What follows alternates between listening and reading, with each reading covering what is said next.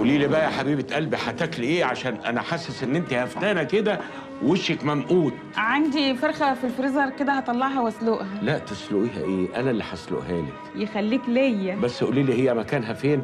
وأنا أطلعها على طول. آه، افتح الفريزر كده هتلاقيها في الرف الفوقاني الفريزر ده؟ عينيا. ما بلاش دلع بقى ما أنا قلت لك أنا اللي هسلقها.